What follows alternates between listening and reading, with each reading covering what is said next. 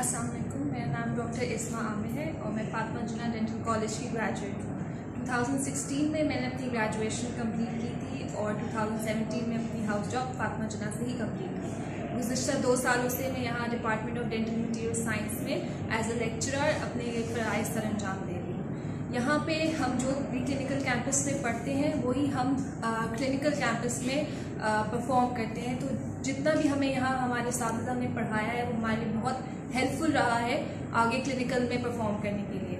हमारी लैब्स होती हैं दो घंटे की, जिसमें हम बच्चों को ट्यूटोरियल्स देते हैं लेक्चर में पढ़ाए जाने वाले जितने भी टॉपिक्स हैं, हम सब उसमें डिस्कस करते हैं और उससे मुतालिक सवाल जवाब करते हैं। साथ साथ प्रैक्टिकल वर्क होता है, जो हम डिपार्टमेंटल लॉ बुक में रिकॉर्ड करते हैं।